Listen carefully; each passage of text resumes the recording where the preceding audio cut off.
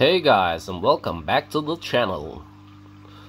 This is my Dragon Blood mix. Um, it's made from uh, Dragon Bloods. As you can see there's a red scorpion right there in the left and some Michelin reds. Now it's in the front right there.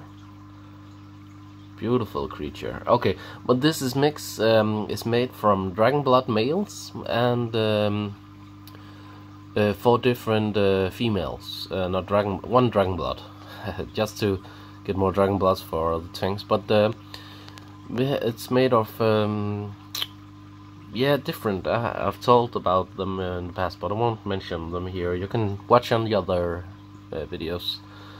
But um, this is how the um, colony looks now. Oh, they removed the food, bastards. um, as you can see, there's some uh, odd ones, like that one on the piece there.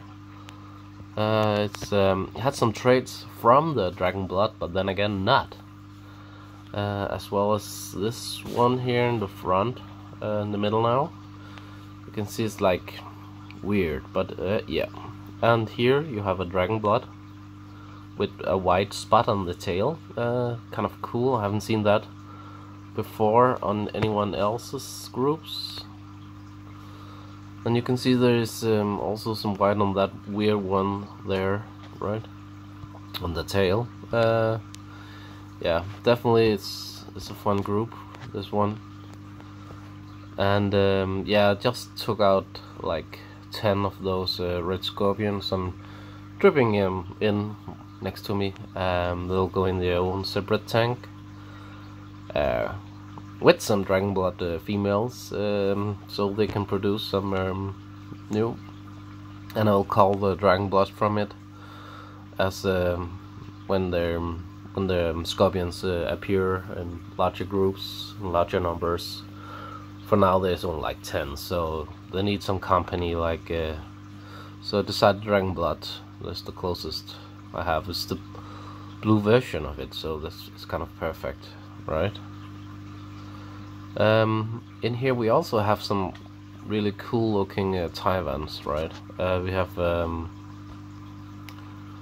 oh not that one. That's that's a cool cool one. And uh, we have like a red steel right there, as you can see, and um, a panda with the blue shadow.